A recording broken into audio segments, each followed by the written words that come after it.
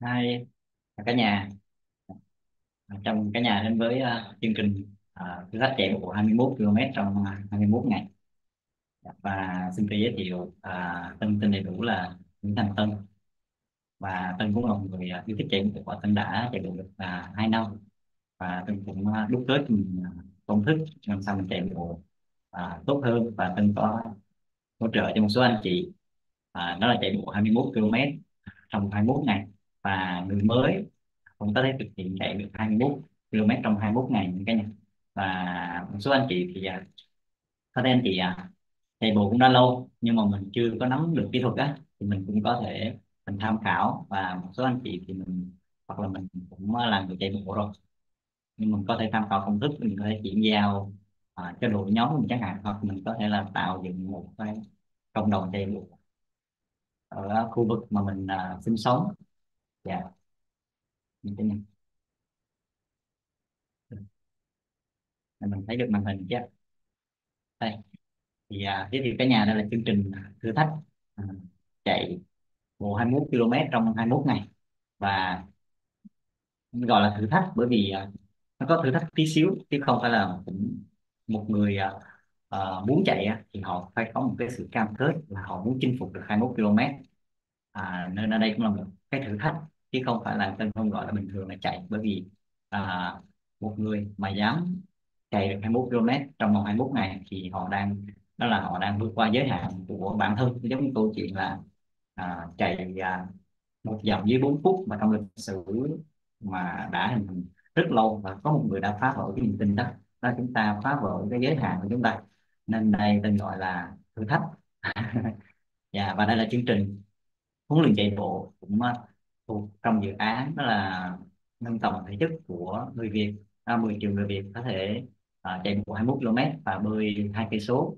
À, thì à, rất vui khi mà Tân cũng đồng hành để hỗ trợ à, đi đâu đó một số anh chị mình cũng có thể chạy được 21 km là mình đang góp phần à, chung tay cùng với dự án để nâng tầm thể chất Việt. Và nếu như mình có công thức rồi thì mình có thể là chuyển giao để à, những anh chị khác cũng có thể là chạy bộ được cả nhà và chương trình này thì Tân cũng đã thực hiện à, được à, 5 khóa. Và hiện tại thì đang bắt đầu à, khóa thứ sáu và cũng đã có những hiện thực về chạy bộ. Ở đây. Dạ. Yeah. hiện thực số anh chị cũng đã chạy trong vòng 21 ngày thì à, chạy được 21 km cũng có một số anh chị à, thì à, chạy bộ được nhanh hơn. Ví dụ như là chị Bình là 18 ngày và chúng ta à, thực tế hết đó là có app Java để chúng ta à, có số km đó, hay gọi là track log để chúng ta ghi nhận lại hết các số liệu ở đây. Dạ và từ một những người đôi khi là đi bộ thôi chỉ biết là đi bộ thôi chưa biết chạy bộ là gì thì anh chị vẫn có thể chinh phục được 21 km trong vòng 21 ngày. À, thì có công thức để làm được à, cái này. Đó là có công thức và khi chúng ta có công thức có quy trình chúng ta chỉ cần làm đúng công thức thôi thì chúng ta sẽ làm được nên một người bình thường cũng có thể chạy 21 km. À, khi mà nhận được hiện thực và chúng ta tương đồng tần số với hiện thực đó nên hiện thực ở đây rất là quan trọng. Anh chị có thể là tham khảo những hiện thực mà họ đã chạy đua được đó. Thì Tân sẽ chia sẻ với anh chị công thức để mình có thể mình ứng dụng ngay và luôn ha các nhà đây đây là những hiện thực mà anh chị có thể là tham khảo trên kênh của Tân. Và như đây là có anh sự Huỳnh Minh sự. À, thì anh sự là một người mà năm trước đó là anh bệnh lên bệnh xuống và anh nhập viện 26 lần. Nhưng mà năm nay anh quyết tâm uh, chăm sóc sức khỏe rồi anh chạy bộ và anh bước vào chương trình thì tôi một người chưa bao giờ chạy bộ. Thì anh sự cũng đã chinh phục được 21 km trong vòng 21 ngày. À, nên đây là có những hiện thực à, và cả thi cả Ironman đó thì mình có thể tham khảo. Bởi vì hiện thực rất quan trọng đó là hiện thực sống với hiện thực. Và có phải là khi mà chúng ta uh, chơi với năm người mà chạy bộ được thì có khả năng mình có khả năng là mình là người chạy bộ thứ sáu mà. Nên chúng ta muốn chạy tốt á, chúng ta có thể có một cái nhóm chạy bộ đấy hạn thì tân lập ra nhóm đây là chạy bộ online thôi. Nhưng mà kết nối là kết nối à, à, ba miền. Ừ, đi online kết nối ba miền và đâu đó nhân viên chúng ta à, có cái cuộc dạ, giải thi chạy này, những giải chạy á và anh chị cũng gặp nhau làm việc chị check in nhưng cũng rất là vui khi mà khi là online nhưng chúng ta vẫn kết nối offline ở ngoài đời rất được cái này và trước khi đi vào giáo án à, chạy bộ 21 km trong vòng 21 ngày thì à, à Tân sẽ chia sẻ nhà mình một công thức đơn giản thôi để anh chị dù là người mới thì anh chị vẫn có thể ứng dụng để anh chị thực hiện được. Nên tại sao à, trả lời cho câu hỏi là tại sao mà họ có thể chạy bộ 21 km trong 21 ngày? Được mà và một số anh chị thì chạy bộ đã lâu á, thì cũng sẽ có vậy những cái bài tập hỗ trợ cho nhà mình. Nếu như nhà mình chạy mà cảm thấy là mình chưa có nâng được cái cự ly chưa tăng được sức bền chẳng hạn hay một số anh chị làm sao để anh chị có thể là chuyển giao cho nhiều người có thể chạy bộ được thì anh chị có thể là tham khảo công thức này. Được chưa? Và đây là những công thức mà Tân được dạ, được kỷ điểm và Tân xin phép chia sẻ lại nhà mình thôi chứ cũng không phải là công thức của Tân thì anh chị có thể là từ cái góc độ anh chị tham khảo ha ừ. cái này à, chúng ta có một tam giác gọi là tam giác hiện thực. À, thì tâm đây là chúng ta dùng trong vận động nên là tam giác hiện thực của vận động. À, và để hiểu về tam giác hiện thực là gì thì nhà mình có thể là search trên YouTube á và có tam giác hiện thực thì sẽ rõ hơn cái khái niệm về tam giác hiện thực là gì cái này còn hôm nay chúng ta sẽ đi vào tìm hiểu luôn về tam giác hiện thực của vận động ha. Chúng ta có tam giác hiện thực thì biểu hiện vật chất của một vật nào đó thì nó được cấu thành đó là từ thông tin từ năng lượng và từ vật chất. Và lúc này nó mới đầy đủ để nó biểu hiện ra vật chất đó cái này. Ừ. thì ở đây chỉ dựa vào công thức này thôi thì Tân đã cũng đã chuyển giao được các anh chị và các anh chị nhận được á thì họ làm rất tốt. Nên là trong vòng 21 ngày á, thì họ đã chạy được 21 km rồi. À, như nhà mình thấy thì Tân sẽ bắt đầu đầu tiên với là gốc vật chất trước được không? À không đối với vận động đối với vận động thì Vân gợi ý cái nhà mình. Đối với vận động thì nhà mình nên bắt đầu vào góc năng lượng trước. Góc năng lượng rất là quan trọng. Có một cái phương pháp gọi là phương pháp tụ chúng. Đây. Đơn giản giống như tôi vừa chia sẻ đó là à, chúng ta chơi với năm người. Họ thường xuyên chạy bộ. Thì có phải khả năng chúng ta sẽ là người thứ sáu chúng ta chạy bộ được không? À, nên là chúng ta muốn làm một cái việc gì đó đặc biệt là chúng ta muốn vận động tốt chúng ta muốn chạy bộ này muốn tập thể thao tốt thì vẫn gợi ý đó là mình nên tham gia vào một nhóm tụ chúng này là tụ một nhóm người lại cùng với nhau cùng chung mục tiêu cùng chung mục đích. À thì lúc này cái năng lượng không dồn lại đó thì sẽ rất là dễ để thực hiện được. Nên đây là một phương pháp rất là hay. À, nên là hay bắt đầu bằng góc năng lượng thì anh chị có thể là anh chị có những cái nhóm mà ở địa phương mình ngay gần nhà mình à, là mình bước ra công viên mình thấy họ chạy á mình mình cứ chạy theo mình tham gia vào thì mình sẽ rất là dễ thực hiện được cả nhà. Còn nếu như anh chị chưa có bạn chạy không sao hết thì chúng ta có thể chạy online. Giống như Tân này Tân vẫn chạy một mình thôi Tân chạy online ở nhà Tân ở quê thôi Tân chạy xung quanh những con đường quê vậy đó. Nhưng mà Tân có một nhóm chạy online và check in lên chạy xong mình chụp hình mình check in lên nhóm. À, mọi người lại cùng check in lên mình cộng hưởng năng lượng vậy đó rồi người này chưa chạy mà thấy người kia chạy cái bắt đầu cũng sắp về ra chạy. Nên tụ chúng là phương pháp rất là hay để mình nói về năng lượng cái nhà lúc này tụ năng lượng là giống như tụ năng lượng lại vậy đó. Được không cả nhà? Nên tụ chúng sẽ giúp chúng ta tụ được năng lượng. Dạ. Và ở góc vật chất á, thì nhà mình phải giúp Tân làm cái việc này. Đơn giản thôi đó là nhà mình có hình ảnh của việc mình chạy bộ ví dụ anh chị muốn chạy bộ 21 km thì mình nên có hình ảnh để chạy bộ 21 km đó là mình huân tập những hình ảnh. À, đây là một cái điều đơn giản thôi nhưng mà chúng ta biết chúng ta làm anh chị thì bất kỳ kỹ năng nào chúng ta đều có thể học được. Cho là bắt đầu ra bằng hình ảnh. À, chúng ta có gì? Cái hình ảnh trong tâm trí chúng ta nó lặp đi lặp lại và nó sẽ trở thành cái hiện thực nên hình ảnh ở đây thì gợi ý đó là nhà mình hãy sưu tầm những hình ảnh đẹp mà về chạy bộ mà anh chị thích có thể là một cái nhân vật nào đó à, một cái runner nào đó mà anh chị thích.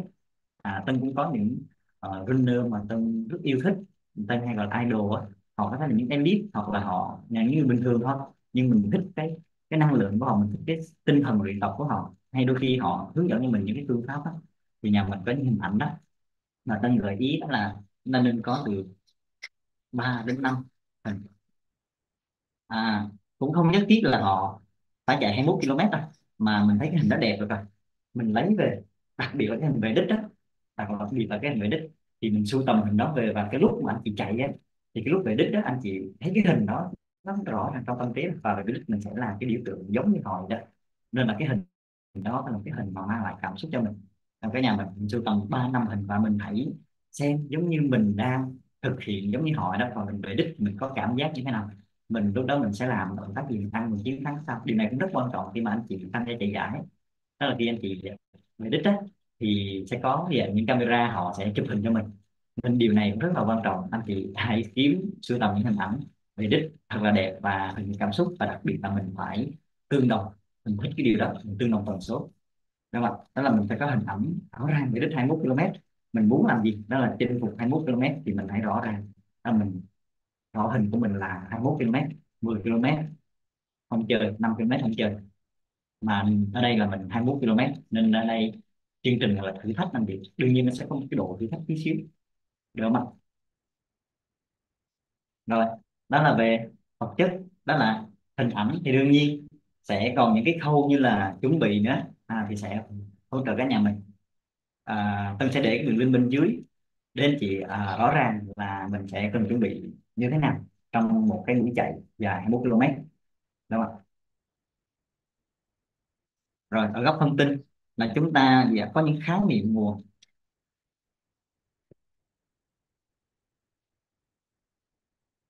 về chạy bộ về sức khỏe. À, chúng ta có những bài tập chẳng hạn. À, ví dụ như là các cái bài tập này đúng không?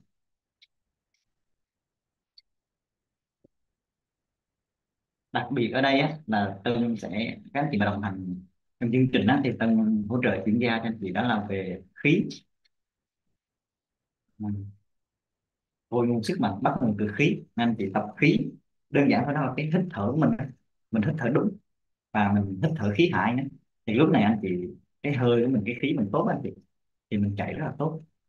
À, mình chạy rất là tốt và rất là nhẹ nhàng. Nên ở đây trong chương trình là chuyển gia những bài tập và khí và ở đó là gì đó là à, chuẩn bị đặc biệt là trước khi chạy trong khi chạy và sau khi chạy. Mình cần chuẩn bị gì? Thì tất cả những video này tôi có để ở bên dưới à, đường link để anh chị có thể tham khảo những cái bài tập mà chúng ta có thể xem chúng ta có thể ứng dụng cũng được cả nhà nhưng còn nếu anh chị mà mình chưa có môi trường để mình à, tụ chúng thì anh chị có thể là tham gia chương trình để chúng ta cùng nhau về dù là online nữa tương tác à, chúng ta hỗ trợ nhau để cùng nhau về đích sinh tươi. Thì đây là công thức đơn giản để anh chị bất kỳ dù là bạn mới lúc mình hiểu điều này mình đều có thể thực hiện được anh chị. Và ở đây nữa tôi gợi ý một cái điều nó hơi đặc biệt một tí xíu. Đó là hãy viết ra hãy cho mình đó là gì? Đó là năm lý do. Năm lý do. Chỗ này, năm lý do tại sao tôi muốn chinh phục 21 km. Bởi vì à, khi có lý do đủ lớn thì mình có động lực để mình làm. Đôi khi mình muốn thôi à là mình thấy ta chạy 21 km hay quá, thì mình muốn vậy thôi. Nhưng mà cái lý do mình chưa rõ ràng, nó chưa đủ lớn á, cho mình, cái động lực của mình nó không đủ mạnh mẽ để làm. Nên là anh chị hãy viết ra, đó là năm lý do à, năm lý do. Tại sao tôi muốn chinh phục 21 km? À, thì ta gợi ý. Lý do chúng ta nên ghi ra theo đó là gì đó là bản thân. Rồi lý do ví dụ như là cái lý do đó nó có hỗ trợ cho gia đình không? Đôi khi tinh thần thôi chứ không phải vật chất gì hết nhưng mà tinh thần đúng không? Ví dụ như chúng ta thân giáo cho con cái của mình đúng không? Cho anh em của mình chẳng hạn. Rồi cho tổ chức.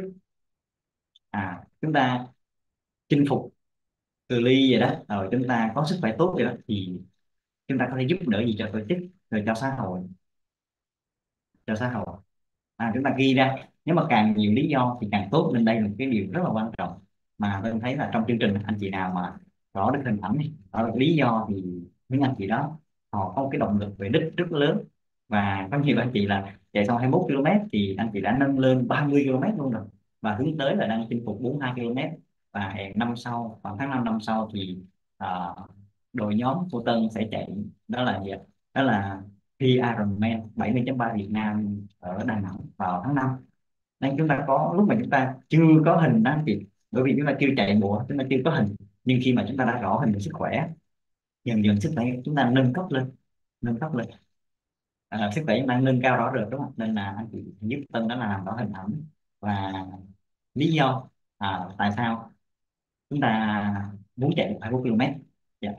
à, để hỗ trợ cả nhà mình tốt hơn nữa thì chạy bộ nó liên quan tới sức bền đúng không ạ? À, trong thể chất á, thì nó có năm yếu tố là sức mạnh sức bền dẻo dai thăng bằng và tốc độ. Thì ở đây tên hỗ trợ cho nhà mình đó là một yếu tố là về sức bền.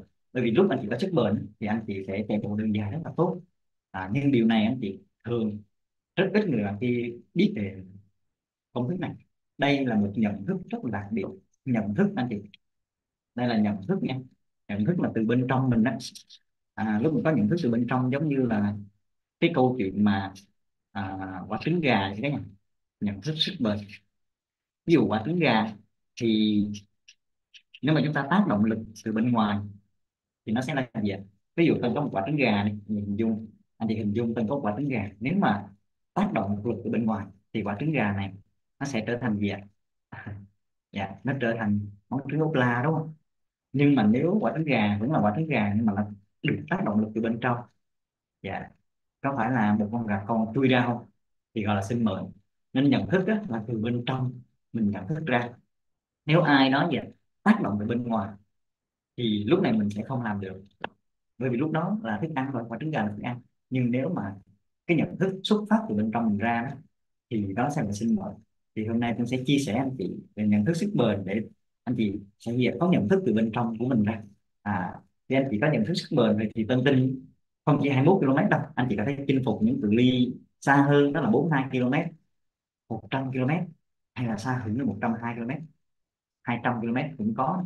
Nhưng giải chạy treo á đều có hết luôn cả nhà. Nên ở đây lúc mà chúng ta nhận thức sức bền thì tăng tin là anh chị có thể chinh phục những cái giải chạy lớn à, trong sức bền thì rất là nhiều. Và chia sẻ cho mình ba trọng điểm về nhận thức sắc bền.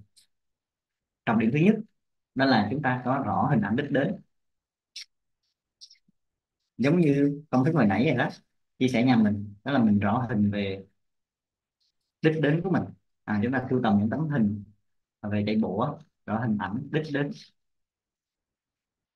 Cái này lúc này chúng ta rõ là đích đến là 21 km rồi thì lúc 10 km nó chưa phải là đích của mình khi nào mà chúng ta chạm được đến đích 21 km thì đó mới là đích của mình. Nên là chúng ta phải rõ, khi làm cái gì đó thì có phải chúng ta cần phải làm rõ hình rõ hình trước mà.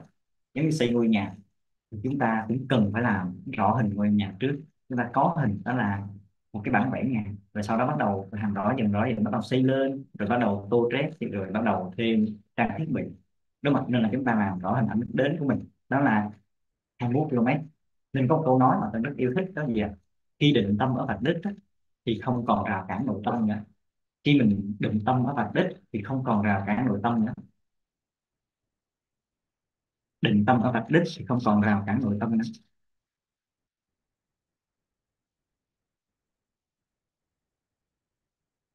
Và con người chúng ta có một cái năng lực rất là đặc biệt đó chị. có một năng lực rất là đặc biệt khi mà chúng ta có sự rõ ràng thì bên trong nó sẽ có một nguồn năng lượng rất là lớn. Thì định tâm ở và thích thì không còn rào cản nội tâm nữa. Bởi vì bên trong mỗi người đã có năng lực để chạy được 21 km nên có một câu nói trong chạy bộ 21 km mà tôi hay chia sẻ đó vậy đó là chạy 21 km là một năng lực bị che giấu mà người bình thường có thể thực hiện được khi nhận được hiện thực và trạng thái nội tâm cân bằng hướng dương. Đó mà thực ra chúng ta đã có năng lực để chúng ta chạy được 21 km rồi kể cả 42 km anh chị cũng có năng lực rồi. Chẳng qua là chúng ta chuẩn bị tí xíu một tí xíu về khái niệm nguồn nữa. Và đương nhiên cái mục tiêu rõ ràng là như này đó là chúng ta có nhận thức sức bền thì anh chị có thể chạy trong thời gian ngắn được. À, đây là một cái niềm tin mà rất lớn mà tân lúc mà tân trải nghiệm rồi tân mới thấy được cái điều là một số anh chị đã đồng hành mà chị làm được ấy, thì tân càng rõ hình về điều này hơn. Đó là mình đã có năng lực để mình chạy được đó anh chị à. nên mình rõ ràng về là đích đến của mình ha. Rồi nhận thức thứ hai đó là chúng ta có có được cái khoản nghĩ trong vận động. Cái này thì à, khoản nghĩ trong vận động thì nó hơi đặc biệt có dịp thì sẽ chia sẻ nhà mình ha chi tiết. Còn bây giờ thì tôi sẽ nói dễ hiểu là vậy. Phản nghĩ ha. Phản nghĩ.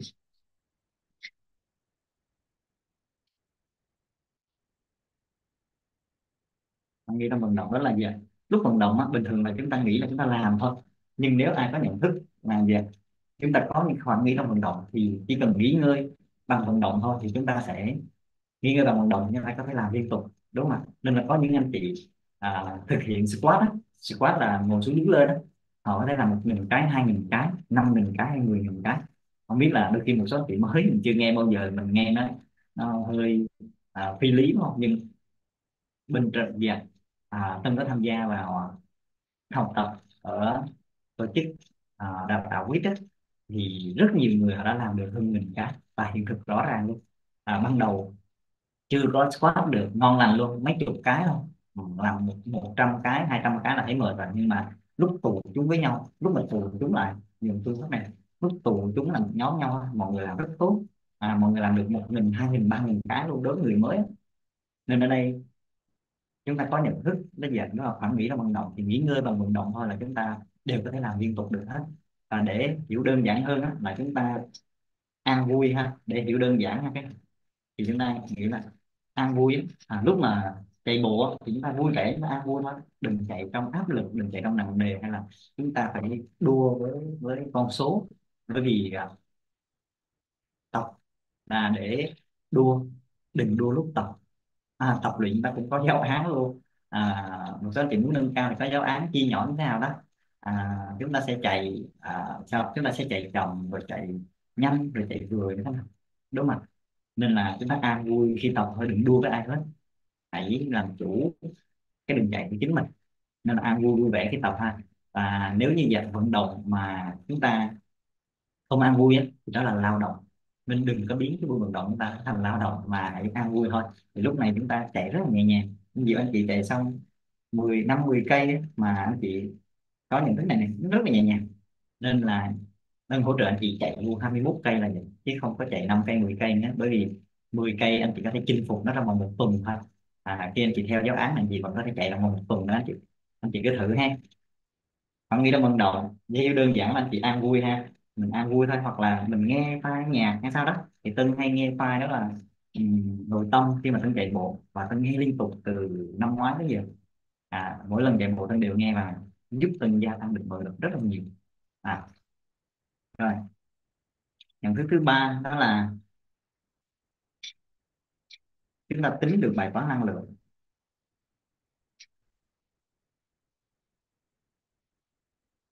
Này rất là quan trọng. Đó thì bạn cơ thể mình nó giống như một cục binh gì đó.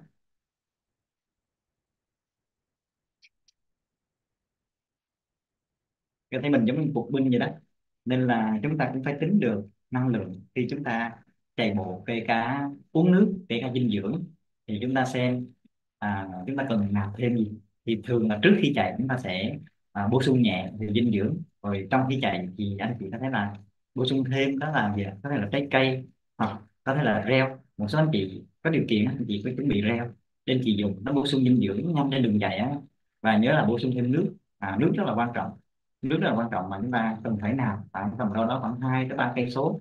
Thì chúng ta uống một ngụm nước dù không khát cũng có thể hãy uống một ngụm nước. Và các giải chạy đã bố trí cho chúng ta đó là cứ hai cây số là họ có một trạm nước, thì anh chị chạy, anh chị sẽ trải nghiệm điều này.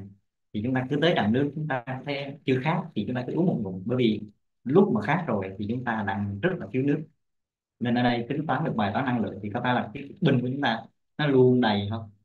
Luôn duy trì cái mức bình nó đầy thì chúng ta thấy chạy hoài chạy hoài chạy hoài, chạy liên tục luôn. Nên đừng để cơ thể chúng ta bị thiếu kiệt năng lượng mà chúng ta không chạy được ha cả nhà đây là điều rất là quan trọng.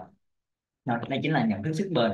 Anh chị có thể lưu lại cái công thức này và anh chị có thể gì trong bộ môn này đó anh chị muốn có sức bền anh chị chỉ cần có nhận thức này thôi. Thì dù là chạy bộ hay chúng ta chơi tennis hay chúng ta chơi pickleball hay chúng ta bơi à, hay chúng ta đạp xe chúng ta có nhận thức này thì anh chị sẽ có sức bền rất là phi thường. Nên điều này giúp chúng ta biết nha một người bình thường thành phi thường là gì? Hai cái nha. Rồi nếu chị nào muốn trao đổi nữa thì có thể là inbox cho Tân ha. Thì à, đây Tân sẽ chia sẻ cái nhà mình về giáo án nên chị có thể là tham khảo và mình có thể ứng dụng luôn à bắt đầu luôn cả nhà để chia sẻ cái nhà mình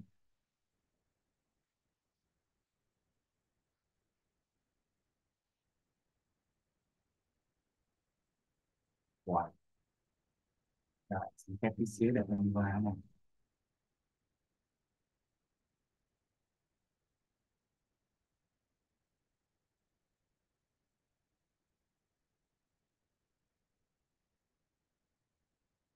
Rồi, thì sau đây Tân sẽ chia sẻ nhà mình giáo án nên chị à, tham khảo giáo án nhé.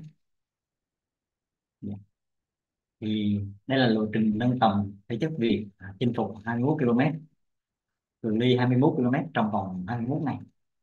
Thì mục tiêu vẫn là dành cho các anh chị là người mới, nhưng các anh chị à, đã chạy bộ lâu rồi đó, mà anh chị muốn có uh, công thức này anh chị à, muốn chuẩn về bài tập của mình cũng có thể tham khảo cái này một số anh chị muốn xây dựng cộng đồng một nhóm chạy của mình hay là anh chị vô làm cho tổ chức của mình hay doanh nghiệp của mình anh chị cũng có thể tham khảo. Đây là giáo án mà thực ra Tân cũng tham khảo từ các chuyên gia bên Vietray 365 á.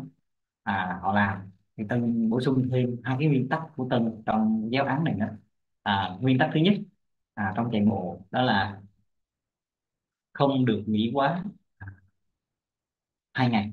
Đó chúng ta đừng nghỉ một ngày thôi. À, chúng ta nghỉ mà nghỉ hai ngày là lúc này cơ thể chúng ta sẽ nó có sẽ có một cái sức tìm nên anh chị có thể quan sát giáo án là chúng ta sẽ một ngày chạy và chúng ta sẽ có một ngày ngày nghỉ ngơi cũng được và anh chị vận động nhẹ nó đi bộ à, thì chúng ta một tuần vậy đó thì chúng ta có tối thiểu là 4 ngày chúng ta chạy bộ thì cả tập gym cũng vậy đúng không ạ khoảng một tuần chúng ta cũng có khoảng tầm 4 buổi tập và ở giữa ngày vận động đó, đó thì chúng ta có thể là nghỉ ngơi hoặc chúng ta vận động nhẹ hoặc là chúng ta tập những cái môn như là làm sao để tăng sức dẻo dai như là yoga đúng không ạ? Hay là một số bây giờ có một số môn bổ trợ như là xoay hông dưới trụ này uh, squat này hay là câu cá này nhẹ nhàng. Thì Tân đưa thêm nguyên tắc của mình vào. Thực ra đây là nguyên tắc mà Tân tham khảo từ uh, một đại văn hào của Nhật Bản rất là nổi tiếng. À, ông viết um, tiểu thuyết ở rừng Na Uy. À, Murakami á, dạ rất là nổi tiếng và cũng là một chân chạy từ tôi từ những năm 1980 mấy là đã chạy marathon 42 km rồi. Và Tân rất ngưỡng mộ. À, Đại Văn Hào này. Và ông cũng từng đã từng thi Ironman. Và cũng đã từng chạy cự ly đó 100 km đường trường từ những năm đó mà chạy 100 km là khủng khiếp lắm. À, bây giờ thì số lượng người chạy nhiều đó nhưng mà hồi trước rất khủng khiếp. Và Tân cũng dựa trên hiện thực đó, đó và Tân đặt mục tiêu cho mình là năm nay thì Tân cũng sẽ chinh phục cự ly 100 km. À à, thì Tân đưa vào này và cái nguyên tắc à, thứ hai của Tân đó, đó là đã chạy bộ thì không đi bộ. Đó, khi mình chạy bộ rồi đó, thì mình sẽ chạy chứ mình không đi. Bởi vì lúc mình đi á, thì cơ thể mình nó cũng lại kỳ luôn. Và lúc này nó cứ mong muốn đi bộ thì mình không thể nào mình cải thiện được tốc độ. À, nhưng mà một số anh chị mới thì không sao hết. Anh chị mới mình cứ nhẹ nhàng ha. Ban đầu thì mình cứ có thể mình đi bộ cũng được vừa đi vừa chạy. Mình chạy một đoạn mình đi một đoạn cũng được. Nhưng mình hãy cho mình cái nhận thức đó là à, tôi chạy bộ à, dần dần dần cơ thể chúng ta nó sẽ quen cái việc đó. À, cả nhà. Dạ. Và anh chị có thể tham khảo giáo án ở đây. Thì chúng ta có bây giờ đó là à, cũng có Zoom hỗ trợ về kỹ thuật cho các anh chị này đến chị chạy bộ. Và có nhóm để chúng ta có thể nộp bài nếu anh chị muốn tham gia cùng với nhóm mà còn không anh chị tham khảo giáo án này anh chị có thể à, tự chạy ở nhà cũng được hay cái này và ở đây theo giáo án á, thì à, tuần đầu tiên à, Tân sẽ nói về tuần đầu tiên ha à, tuần đầu tiên thì à, chúng ta sẽ chạy ngày đầu tiên á, là chúng ta sẽ chạy bộ là 20 phút tự do. Để tôi mở hướng là tí xíu nè anh chị ra đây xem đọc kỹ. Rồi thấy được đúng không ạ? À, chúng ta sẽ chạy bộ là 20 phút chạy tự do thôi để làm gì? Để chúng ta cảm nhận cơ thể của mình trong 20 phút đó như thế nào nên là anh chị cứ chạy thông thả thôi. À, chạy bộ 21 km nó đơn giản là vậy đó là chúng ta chạy 1 km và lặp lại nó 21 lần à chạy bộ 21 km đơn giản là chạy 1 km và lặp lại 20 lần nữa trong 21 lặp lại 20 lần nữa. Đó cũng là một cái nhận thức trong vận động nó là một động tác lặp đi lặp lại một động tác lặp đi lặp lại. Đó là chúng ta chạy bộ 20 cái phút đó, là chúng ta cứ chạy nhẹ nhàng thôi để chúng ta cảm nhận cơ thể của mình. Được chưa? trong ngày đầu tiên là chúng ta sẽ đo bằng những app như là app Strava, app Upray hoặc là Garmin hoặc là tùy anh chị có đồng hồ như cô rốt như kia anh chị dùng ha. Và đa phần á, là đang dùng app Strava anh chị lên gõ anh chị đều thấy được. À, trên YouTube có những kênh hướng dẫn anh chị dùng app á. rồi chúng ta đo lường. Chúng ta nếu mà chưa đồng hồ thì chúng ta mang điện thoại theo. Thì chúng ta đo thì nếu mà đồng điện thoại hơi vướng anh chị à, chuẩn bị cho mình một cái đai chạy bộ để chúng ta có thể là đeo điện thoại của mình để chạy nhẹ nhàng và sau đó chúng ta bật nhạc lên được không? Rồi ngày thứ tư thì chúng ta chạy 2 km ngày thứ sáu thì chúng ta nâng cấp lên là chúng ta chạy 3 km. Và ngày chủ nhật thì thường cuối tuần chủ nhật á thì Tân hay gọi là long run đó anh chị. À, trong cộng đồng chạy hay dùng một thuật ngữ gọi là long run là chạy dài á. À, thì chủ nhật thì chúng ta sẽ dành thời gian để chúng ta chạy dài tí xíu. Bình bởi vì bình thường ban ngày ví dụ như là những ngày thường anh chị đi làm cuối tuần anh chị có thời gian á thì mình có thể chạy buổi sáng là tốt nhất. Khoảng tầm 4 giờ sáng chẳng hạn 5 giờ sáng cái mình dậy mình chạy bộ anh chị cảm giác nó khác biệt với ngày cuối tuần lắm rất là khác biệt bởi vì bình thường mình không có dậy sớm mình không có ra đường giờ đó thì ngày cuối tuần mình ra đường mình thấy là cũng rất nhiều người đang chạy với mình. Nên anh chị hãy thử bước ra đường vào sáng nhiều cách dần dần dần anh chị sẽ có thói quen đó. Và cuối tuần là chúng ta lại chạy bộ chúng ta gặp nhau à, gặp những đồng trinh của mình. Rồi chúng ta kết nối và gì à rất là vui vẻ đúng không? Cũng là chăm sóc sức khỏe tinh thần. Đó, nên là đây là giáo án tuần đầu tiên là chúng ta sẽ chinh phục à, đó là 6 km và anh chị à, có tham gia chương trình à, cùng với Tân á, thì đây mỗi ngày sẽ gì ạ? À, zoom 30 phút hoặc là anh chị chưa thuận lời anh chị có thể xem lại video. Đó những về những bài tập này hướng dẫn cho nhà mình để mình nắm được những cái khái niệm nguồn như Tân có chia sẻ đó.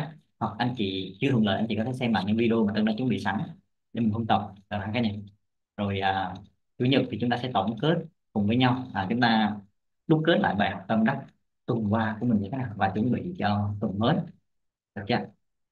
Và tuần thứ hai thì à, bắt đầu ở thứ hai thì chúng ta sẽ chạy phục hồi 2 km à, chạy phục hồi là chúng ta à, chạy nhẹ nhàng sau khi mà buổi chạy dài đó là buổi hôm sau hoặc là ngày hôm sau nữa thôi. Nói chung là trong vòng 2 ngày sau khi chạy dài thì à, chúng ta nên chạy phục hồi để giúp cho việc các cái cơ à, nó sắp xếp lại.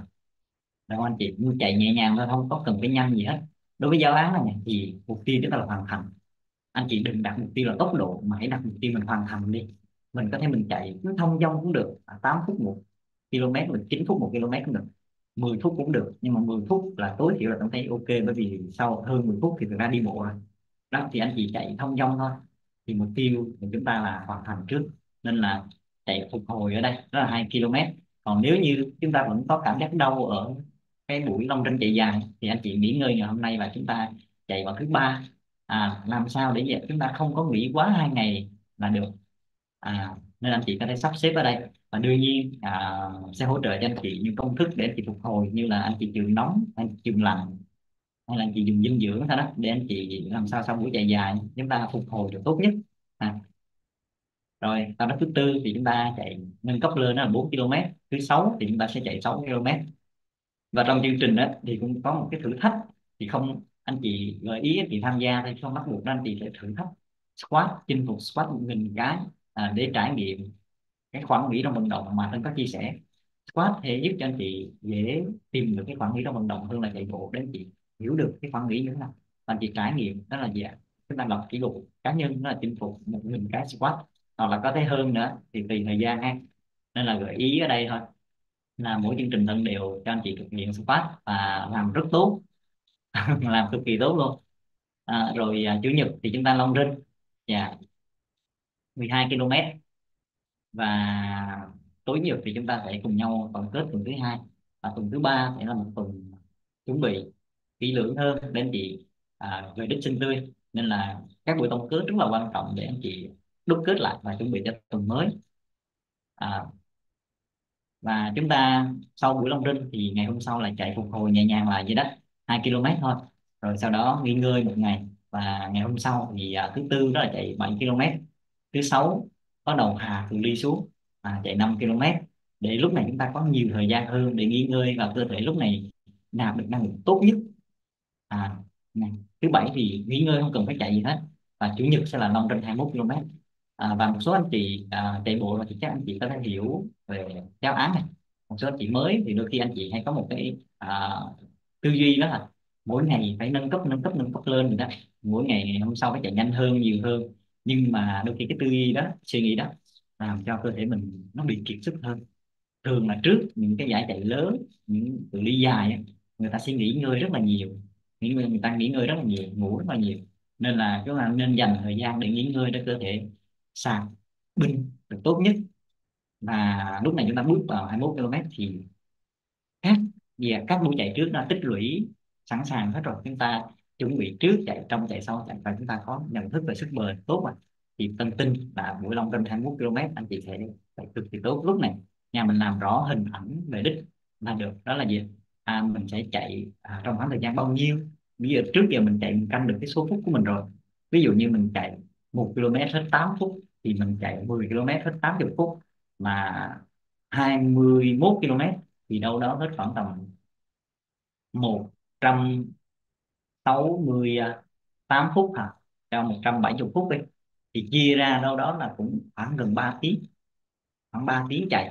Thì chúng ta sẽ xem à 3 tiếng chạy bộ đó đó, thì chúng ta chạy từ 4 giờ thì tới 7 giờ chúng ta xong. Chạy sáng sớm cho mát thì nó dậy sớm tí xíu.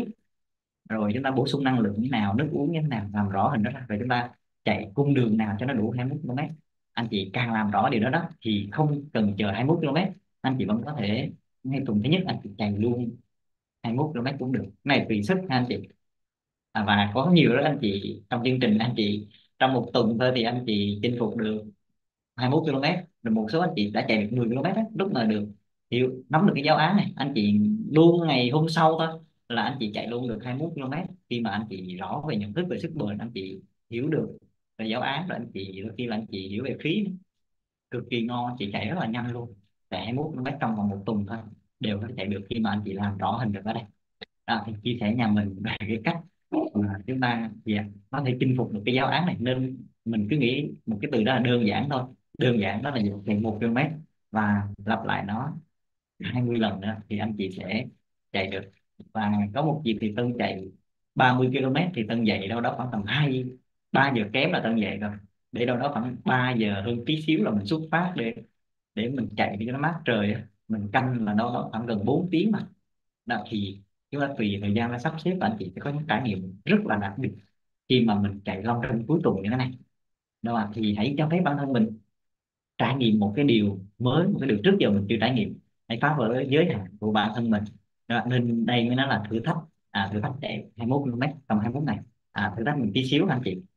Dạ và anh chị có thể là tham khảo giáo án này để à, thư chạy tại nhà hoặc nếu chị thích anh chị có thể đồng hành cùng với chương trình chạy bộ 21 km trong 21 ngày để cùng nhau à, tương tác kết nối với những người bạn ba miền được chưa và rất vui khi được đồng hành cùng với nhà mình. Và các bài tập thân sẽ để bên dưới à, kể cả hướng dẫn chuẩn bị trước trong và sau chạy như thế nào đều để bên dưới hết để anh chị có thể tham khảo.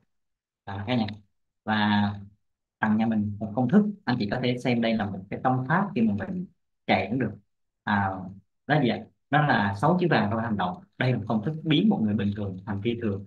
Chỉ cần anh chị nắm được cái này thôi thì anh chị đều chinh phục được những cái việc mà mình muốn làm thì cái chạy bộ 21 km đó, đó là đơn giản mà làm vui vẻ mà làm tin tưởng mà làm nhẹ nhàng mà làm thường xuyên làm và dụng tâm làm.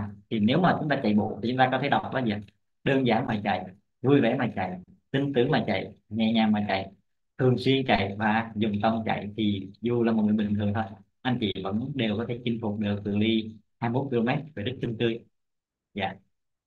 Đó là chia sẻ về nhà mình về giáo án chạy bộ thì anh chị cứ tham khảo và nếu như anh chị à, quan tâm có thể là à, kết lúc mới Tân để Tân hỗ trợ các anh chị hoặc anh chị có thể tham khảo từ vận động ở nhà cho mình nhé. Dạ, và chúc các anh chị à, về đích sinh tươi và chinh phục được 21 km rồi thì anh chị đều có khả năng chinh phục được 42 km hoặc là anh chị tham gia Ironman. Và nếu chị nào có mục tiêu Ironman thì chúng ta hẹn năm sau à, ở Đà Nẵng đó là dạ, Ironman 70.3 Việt Nam để gặp nhau ở Đà Nẵng cả nhà. Dạ rất biết ơn cả nhà mình rất là nhiều. Xin chào và hẹn gặp lại.